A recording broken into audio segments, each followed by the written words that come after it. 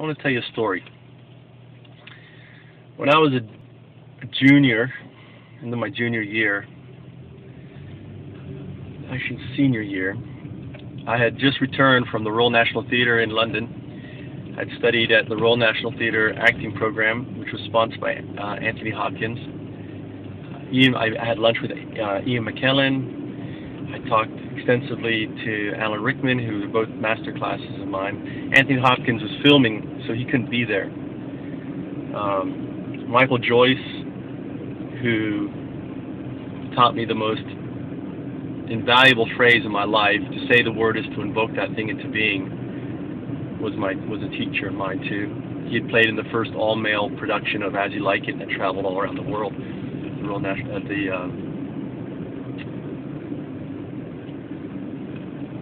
Anyway, when I came back, I was very excited. And I couldn't understand why we didn't have professional theater in Tallahassee. I mean, we had a great school, School of Theater. We had everything, you know. We had great mentors. Joe Papp was a chair. I mean, all of this stuff. But we had no professional theater in Tallahassee. So I was like, you know, I did some research, and it, it turned out that Joe Papp's 40th anniversary was coming up. This was 1994 and it was 1996 was his 40th anniversary. And um, and he was a chair and everything, and I was like, and I was like, why don't we put on a Shakespeare? I was just thought, why don't we just put on a Shakespeare festival? We'll bring over actors from England, and we've got the talent here. We'll do master classes, and we'll do it. You know.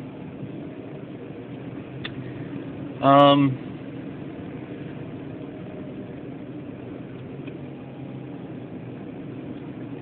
I thought, you know, it's a no-brainer. Why don't we do it?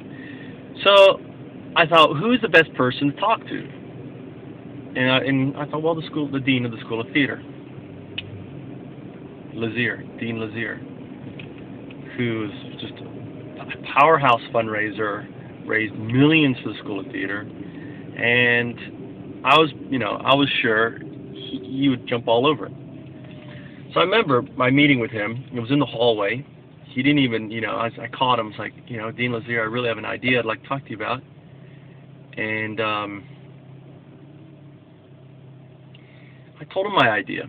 Why don't we do three Shakespeare? And he, and, he, and, and Dean Lazier would do this kind of laugh, jeer, and and kind of look away. And and it's like, you know, I get ten of these ideas a day, and you know, you need more. You got to bring me proposals and bring this and and do this and you know but you know it, it takes a lot of work to produce something like that. And this you know and and you know basically what he was saying is who are you to even suggest such a thing? And you can't do it. In, a way he was like you know in hindsight looking back I just felt like I was a little puppy jumping around. And he was like mm, I don't want to put you in my lap because you're going to pee on me. Really? Well I didn't give up hope. I was shattered away because I, I I was so sure, I was so positive about this idea. I was so sure that it would work.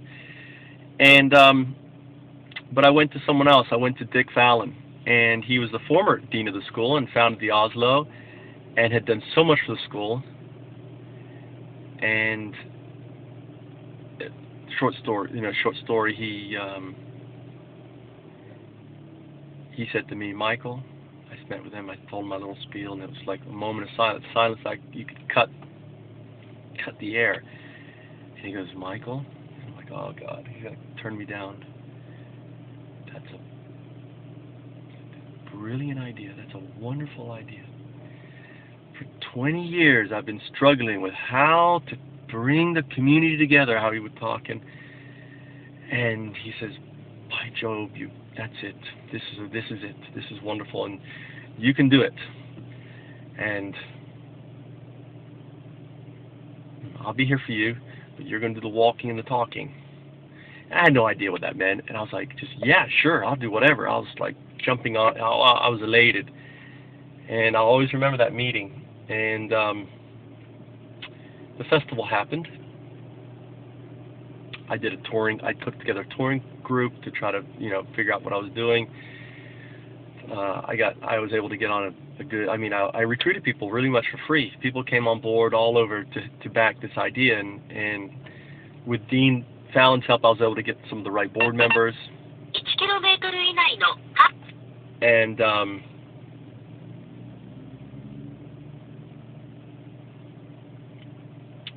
and and the idea went from just uh, just just um, an idea to reality, and 30,000 people came to this event. And Dean Lazier never acknowledged it and never talked to me. And I'm not sure if he ever came to the festival. Or maybe he did come. But he never said, Mike, well done, you did it. You know, I'm the sort of guy I'm not I am not a guy who sits down and writes a business plan and does all this methodical work. If I believe in something, I do it. And I find a way to do it. You know, I leave the writing and the other stuff up to other people. You know, I even have this chamber on, on Google called Trout's Den of Dyslexic Maneuvers.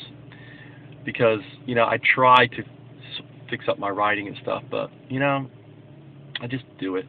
Say the word is to invoke that thing into being. And and every meeting I have, especially like I have one coming up with InnoSight, it's scary because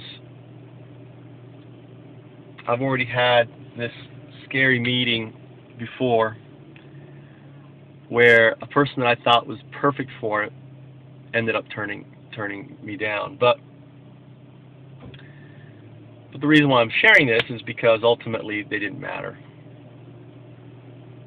So I'm wondering if the InnoSight folks are going to be Dean Laziers or Richard Fallon.